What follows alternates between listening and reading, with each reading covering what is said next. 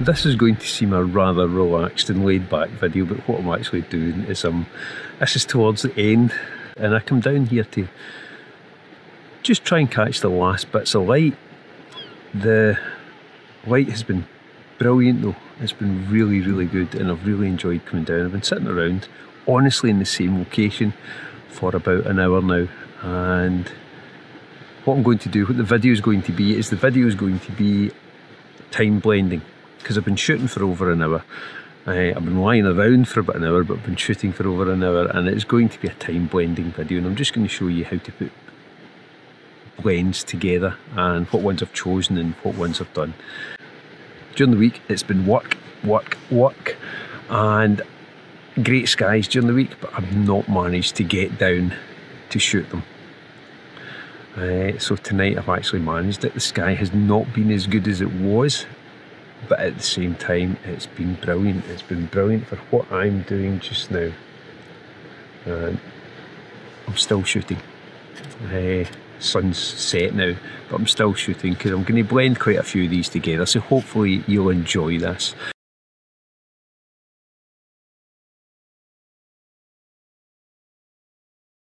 For this one is the simplest form of time blending. It's the same location for, in this case, just over an hour, a series of shots that are bracketed. What I did was I took the bracketed shots and it is focus stacked as well. So I had to create the different single images of the HDR bracketed images. And that's done through by selecting the images in Lightroom and then merging them. When I turn on the auto settings, that's just to make sure it works. And for some of them, as you may notice, it doesn't work, but others it does. So I thought I'd speed up the process just to save you the time here. Next thing is beginning to look at the sky to find out what one of the skies that I want to use over this period of time. And again, I'm looking for certain details that perhaps will match the earlier images when the light was on the rocks and on the side of the cliff face, if you want to call it that as well. And the, the light illuminated the grass as well, and it also illuminated all the surrounding. Once I've chosen the skies, I then blend all them together in the HDR format, which is just photo merge in Lightroom. From here, I'll, I'll, still go back in and I'll check just to make sure everything's sharp. But I've picked each one as a flag, or flag is pick, as it is in Lightroom. And I have them ready now to open in Photoshop. So I just check that everything's okay and it's the way I want it, just to save the process later. And then what I do is I select each one just have a quick look over it and then select them all and then right click and open as layers in Photoshop.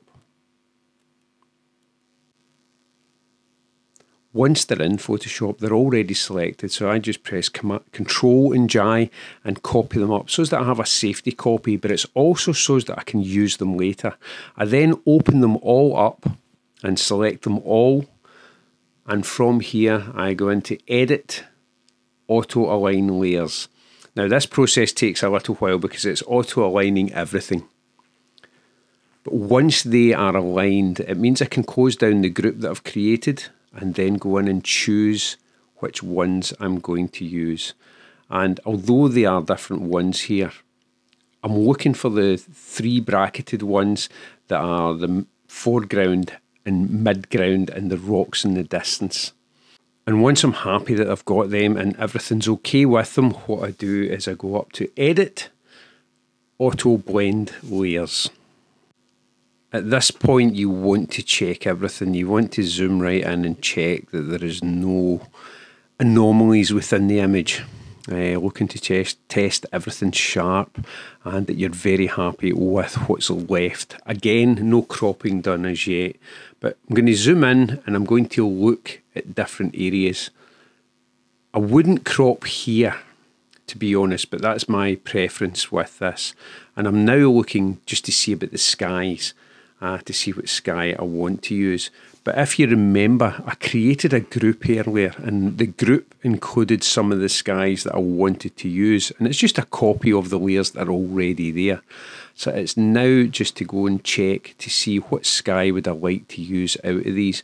And that's me using different times and different blends throughout the hour and a half that I was actually shooting. And that's what you're aiming for. You're looking to see what sky is going to suit best your blends. This image, uh, for me, the best sky is the second top one. And what I'm doing is I'm creating a hide all layer by holding down control when I press the layer. I'm then going to go in and use a gradient blend and it's a white reveal all gradient blend.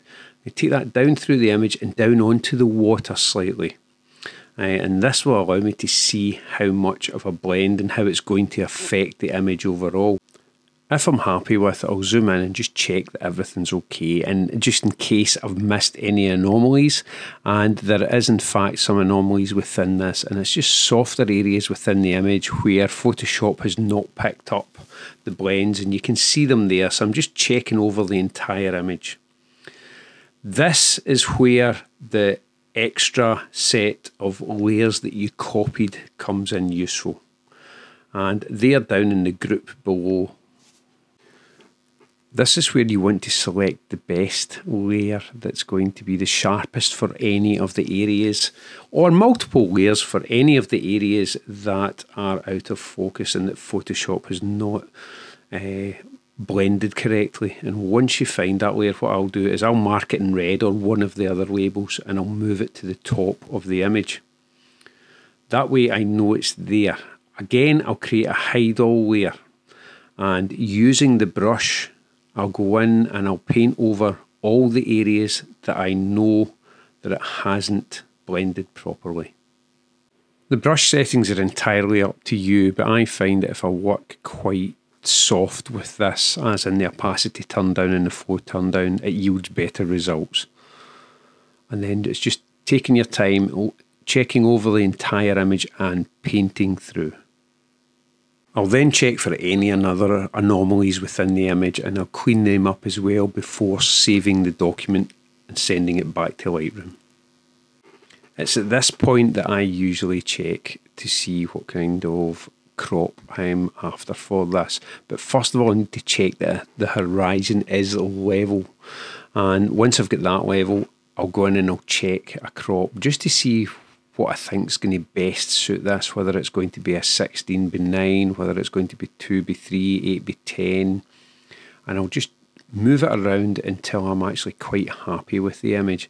And each time I'm watching the navigator up in the top corner just to see what the final image will look like for this.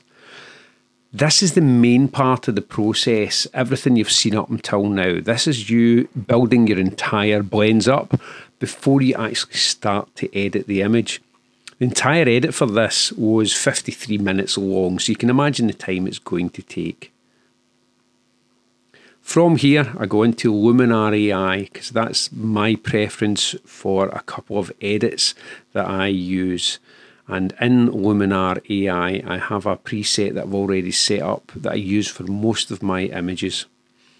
And once I've applied that, it goes back into Lightroom.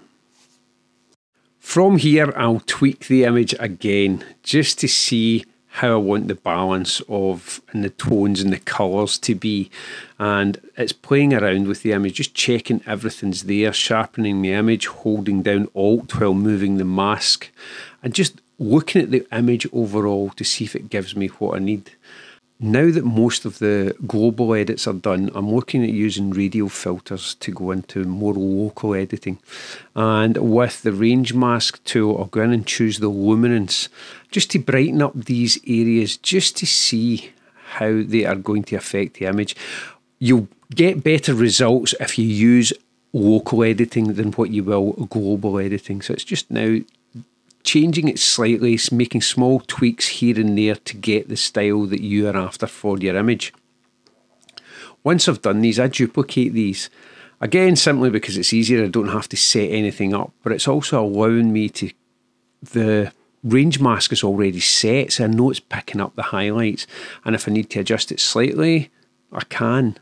So I'll place these around the image however best I think it's going to suit just to finish the entire image off. But at this point, we are still not finished the edit. A couple more things left to do for this. The sky, I want to warm up the sky slightly and I also want to add some magenta to the sky and because I think it will complement the areas that are there and it'll complement the entire image. And again, this is done through using the luminosity masking in Lightroom. Just around about there. From here, we're back into Photoshop, and in this case, I'm going to use the Pro panel. And the Pro panel has an Orton effect in it, and it's a really handy panel. And I'll put a link below. And I'm going to use Orton Sharp for this one.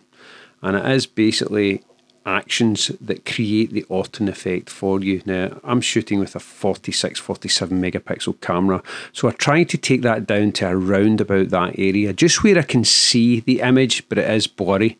Click OK, and then it opens up the levels, and this will allow me to add more contrast or remove contrast to the image, uh, just to balance it out for the next part of the process. And once I'm happy with that, again, I'll just I'll click OK in that, and then I'll move on to the next part of the action. And this action for the next part is a high pass filter. Again, each image is different, so it's up to you what you're going to use for it. For me, dialing it back and moving it forward will allow me to see how much I'm actually going to use in this and to apply it. Once it's applied, that's then I can see the Orton effect. Now, the Orton effect is applied throughout the entire image, including the shadows, and you don't normally get an Orton effect in the shadows. So, because it already creates a mask in this, I'll dial it back. I don't want too much of an Orton effect in this. I'll dial it back a little bit and just check it, just take it so that I can see the difference. Once I see the difference, I'll then go into the mask and I'll erase the areas that I don't want it to be in. Now, I'm basing this around the easiest method of doing this. If you use any panels like Lumenzia that, you can actually select the lighter areas to do this. But I'm just going to show you from the point of view that Lumenzia isn't being used. So I'm going to paint out most of the dark areas where the light wouldn't cause the diffusion effect of the Orton effect some of the sky, I'm going to take it into some of the clouds because I felt that some of the clouds should have more dramatic effect in them. So it's just a couple of little areas in there. I've also noticed a couple of lens spots that I never noticed before and so I'm going into the layer below to clean them up. This is the most basic form of time blending and hopefully it lets you see how easily it can be done and just the considerations you have to take uh, when you're actually shooting your image. In this case, as you know, it was bracketed and focus stacked to get the final image.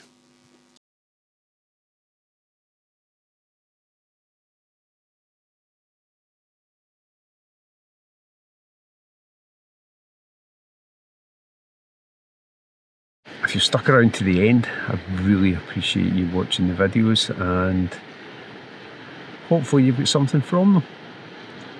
Thanks again for watching and as I'm lying here, yep. Uh, thanks again for watching and I'm going to sign out now. I'll see you in the next video.